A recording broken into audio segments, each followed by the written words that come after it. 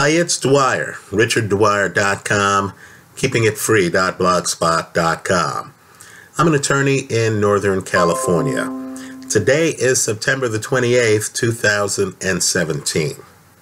Right, but first, remember, the opinion you should follow should be your own. Just consider this video to be a second opinion from a complete stranger online.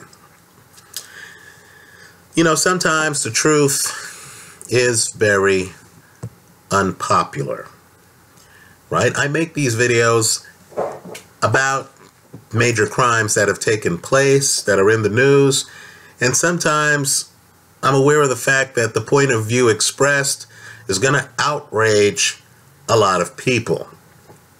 They see a crime, the crime is awful. It's awful.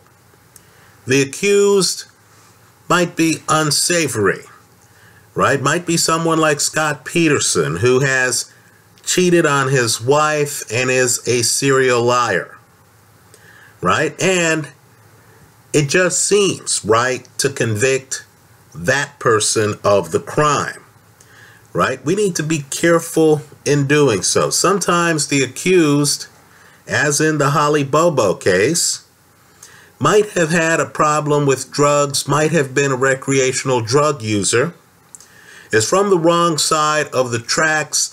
Let's say he's not the town mayor, he's not the town doctor, he's not a priest, right?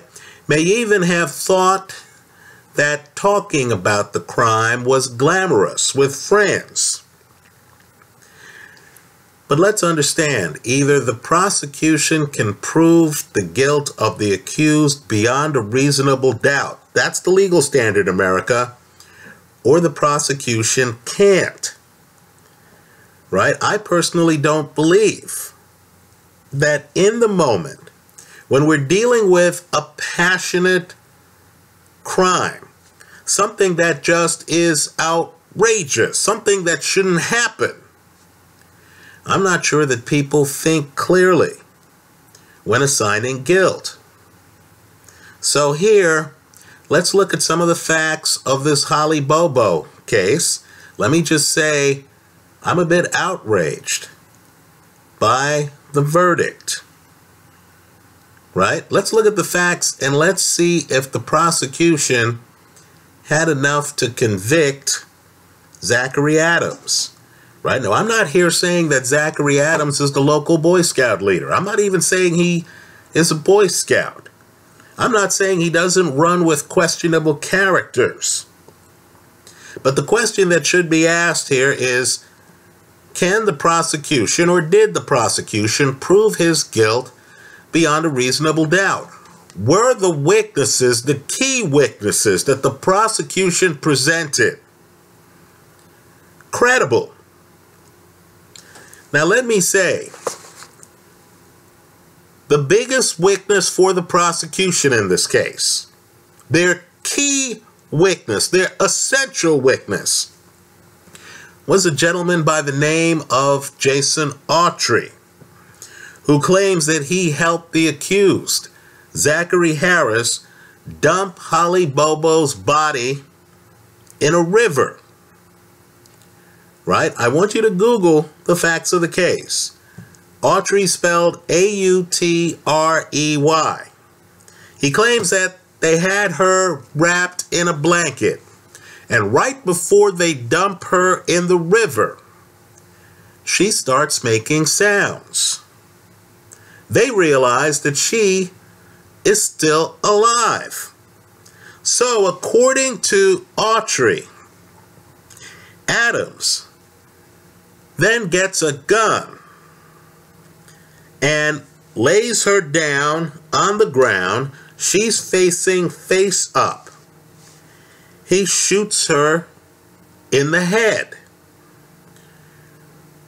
Right? That's that's the testimony from this witness that the accused Zachary Adams shoots the victim in the head and he's present as it happens right? While the victim is laying on the floor face up, Right? Now, again, the prosecution's case is only as good as the credibility of the witness.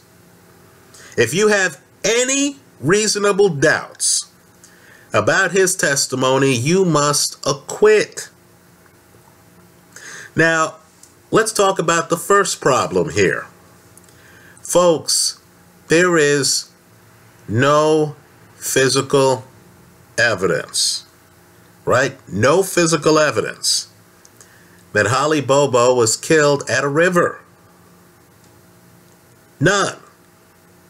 So, we're relying on this witness. The problem, though, is his story is false. Right? It doesn't match the evidence. Bobo was shot in the back of the head, not the front of the head, not the side of the head, in the back of the head. Right? She could not have been laying on her back when she was shot in the back of her head. Right? This Jason Autry guy, who, of course, and isn't this surprising, is hoping to get some leniency in his sentencing,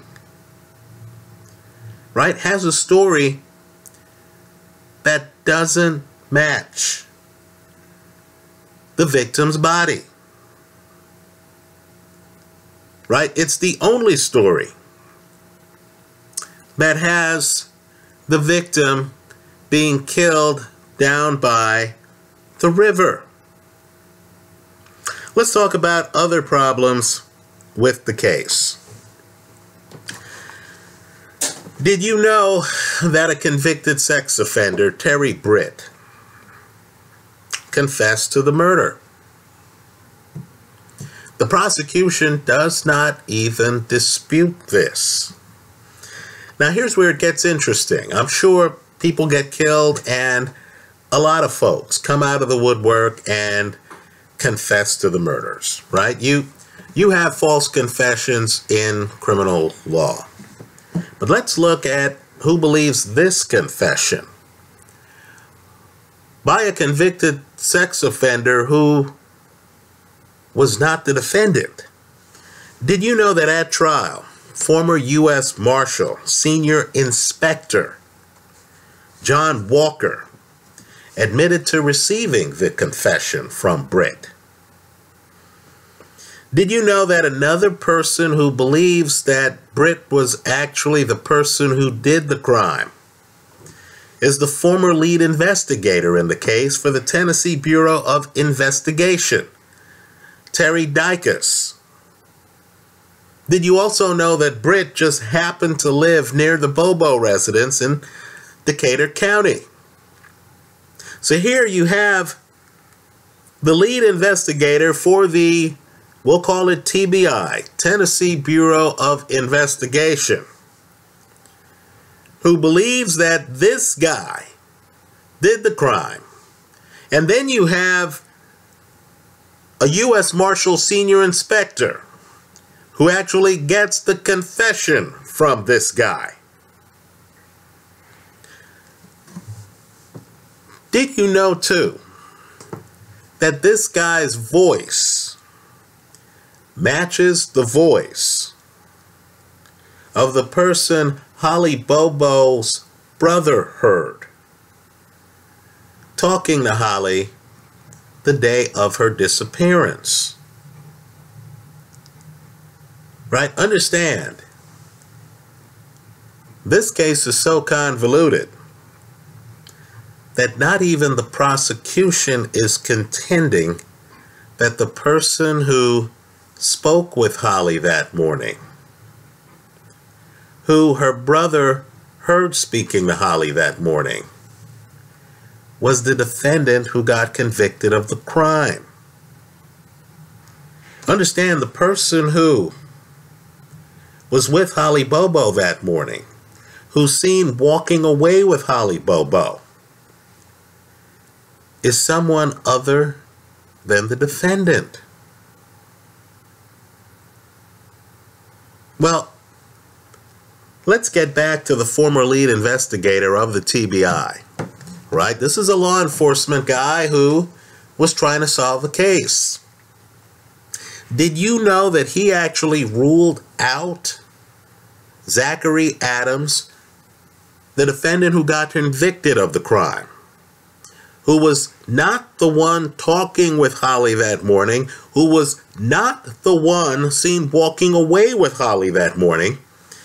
Did you know that Terry Dicus, the lead investigator, ruled out Adams as a suspect because Adams carried a cell phone? And did you know that the pings from his cell phone and the pings from Holly's cell phone the morning of her disappearance don't match. Right, folks? They don't match. So we're supposed to believe that either this guy puts his phone down someplace else lucks out when somebody else brings Holly Bobo to him, where he can then sexually assault her, take her down to the river with prosecution witness Jason Autry, and then shoot her in the back of the head in such a way that Autry believed he was shooting her in the front of the head. Before disposing of her body in the river in such a way that there's no physical evidence of it happening. Folks, Zachary Adams got life imprisonment plus some extra time for this. Right? I believe in a country where we only want to convict the people who did the crime. Right? Where the we want to insist that the prosecution prove guilt beyond a reasonable doubt. Let me just say, this looks awfully shaky to be. I personally have reasonable doubts about Jason Autry's testimony. Isn't he trying to get a lenient sentence? Why doesn't his testimony match up with the victim's skull, the bullet wound in the victim's skull? Right? I have reasonable doubts. When I hear that someone is supposed to have victimized someone else, they both have cell phones, and the cell phones aren't pinging off the same tower. I have reasonable doubts when you have a high profile crime like this and you have seasoned investigators like the lead investigator in the case who believes that somebody else did the crime. Now, I understand the prosecution wants you to believe that Zachary Adams confessed to the crime to third parties. Right? Let me just say does the alleged confession even make sense? According to Bobo's brother, Zachary Harris, he can't even identify Zachary Harris as the person who was talking to his sister that morning, who walked away with his sister that morning.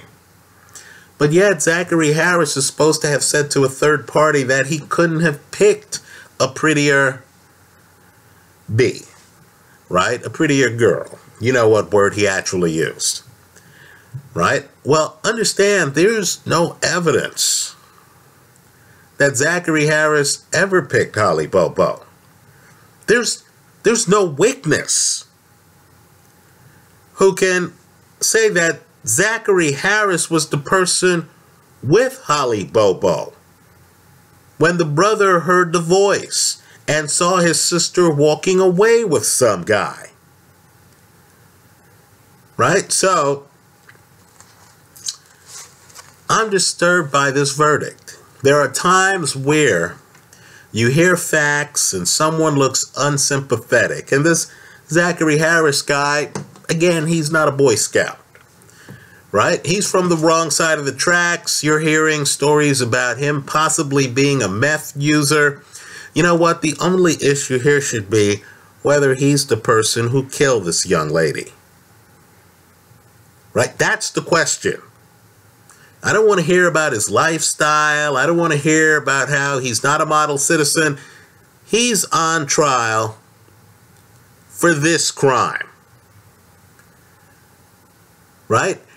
And if the crime is such that young guys who want to come across like gangsters are going to try to brag to friends about some involvement in the crime, for which there's no evidence, certainly not cell phone evidence.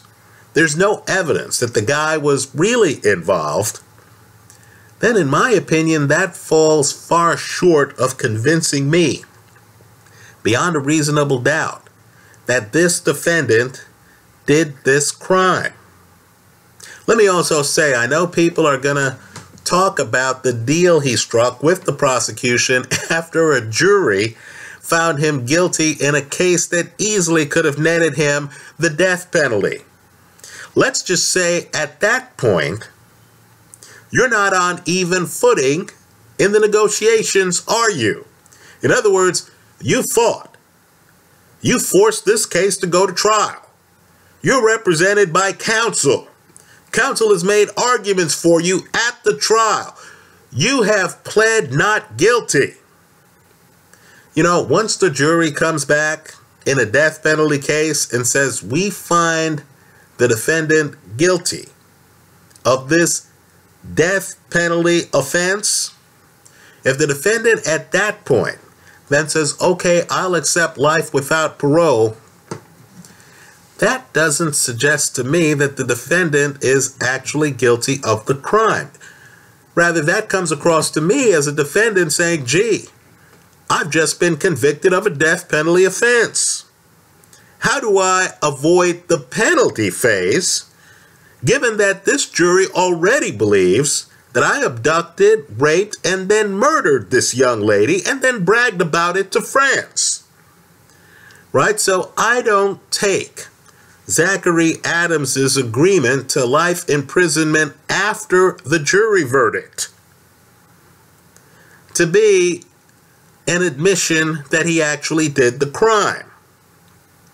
Anyway, let me hear from you. I know in the press right now, this Zachary Adams person is not the most popular person, right, in criminal law circles, right? Certainly, this crime is terrible. It's horrible beyond belief. But don't you have some reasonable doubts about whether we convicted the person who actually did the crime? Let me hear from you. I hope you leave your comments in the comment section of this video. Thanks for stopping by.